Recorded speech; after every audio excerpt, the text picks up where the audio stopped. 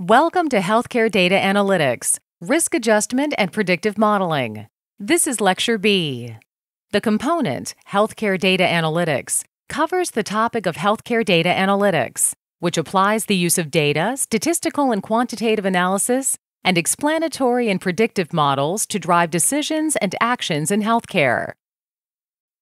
The objectives for this unit, risk adjustment and predictive modeling, are to define risk adjustment, predictive modeling, and validations of models in healthcare. Identify the healthcare and other data needed to perform risk adjustment and predictive modeling. Relate risk adjustment and population segmentation to allocation of healthcare resources and healthcare redesign. Discuss uses of risk adjustment and modeling in value based models of care. Delineate the use of health information technology in the creation, delivery, and evaluation of prediction models, and describe ethical considerations in risk adjustment in population management. Risk adjustment has a strong connection to the notion of value based care. To see why, we first need to understand a little about value based care. Value based care is defined as providing care where the benefits or quality exceed the costs, and is therefore a good value.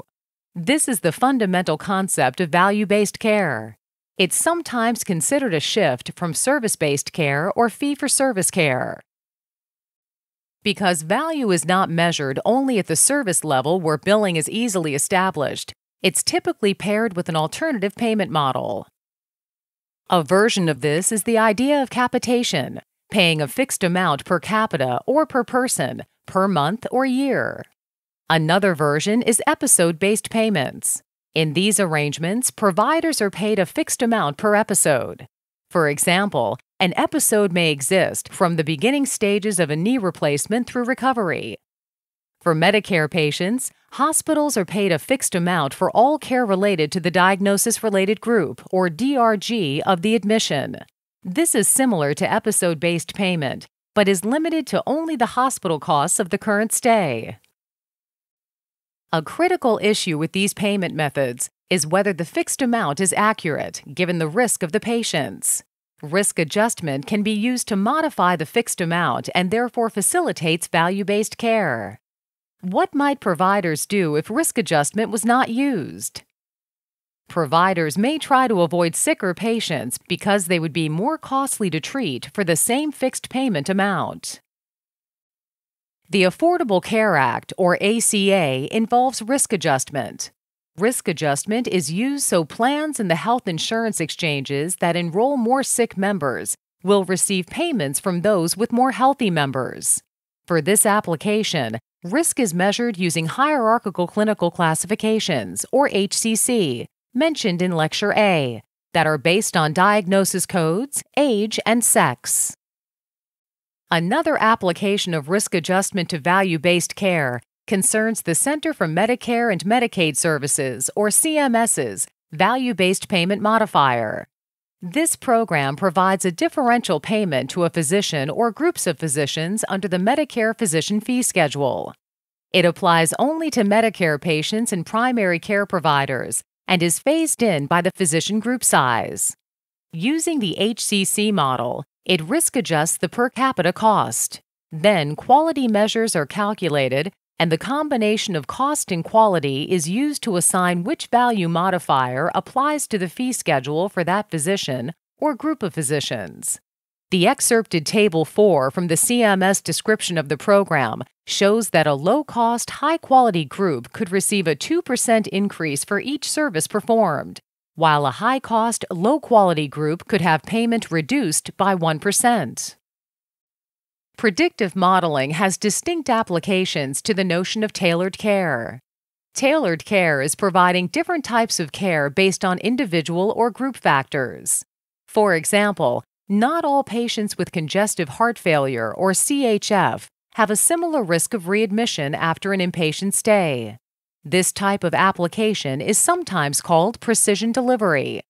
Using predictive models, we could find the patients or group of patients that respond positively and not give the treatment to others. There are many other applications of predictive modeling, since each outcome and set of patients may have different results.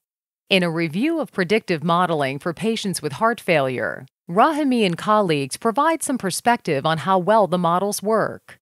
The paper looked at 48 published studies using 64 different models of risk. The outcomes of the studies were either death, hospitalization, or the combination of death or hospitalization. The 43 models of death had C statistics, discussed in Lecture A, of between 0.60 and 0.89. The 10 models of hospitalization had slightly lower C statistics of 0.60 to 0.82.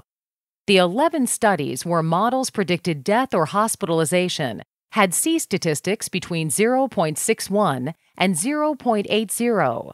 The most common predictor variables included age, sex, renal function, cardiovascular disease, and heart rate. There are several distinct settings for predictive modeling. At a clinic, clinicians may want to identify patients at risk for various negative health events for preventative purposes. At a hospital unit, there may be interest in identifying patients at risk for readmission who have congestive heart failure to provide additional resources for recovery. At an insurer, it may be important to identify patients with spending to see if care coordination could stabilize their care across multiple clinicians. There are a couple distinct limitations to predictive modeling. The first is mean reversion. Because predictive modeling is frequently aimed at reducing the cost of high cost patients, there exists a common problem whereby patients who are identified as being high cost will tend to have lower cost in the subsequent period. This behavior, referred to as mean reversion, can give the false impression that an intervention applied to these patients has reduced costs, when in fact, some reduction may have occurred regardless of any intervention. A drawback of risk adjustment is that it can lead to upcoding.